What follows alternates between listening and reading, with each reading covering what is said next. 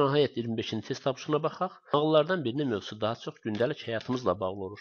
Siz bilirsiniz ki, nağıllar mövzularına və məzmununa görə 4 qrupa bölünür. Məişət nağıllarında belə bir cümlə işlədirik ki, məişət nağıllarının mövzusu daha çox bizim gündəlik həyatımızla bağlıdır və o nağıllar həm də sayına görə məişət nağılları digər nağıllardan, digər mövzuda toplanan nağıllardan daha çoxdur.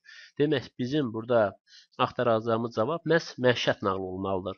B variantı 3 bacı tarixi nağıldır, Şah Abbasla bağlı bir nağıldır. C variantı Çil Maydan heyvanlar haqqında nağıllardan nümunədir. D variantı Şahzadə və Mütalib sehri nağıllara aid bir nümunədir.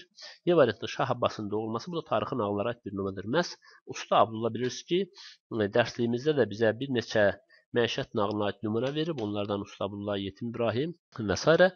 Məhz Usta Abdullah da məişət nağılıdır ki, 25-ci testin doğru cavabı A variantıdır.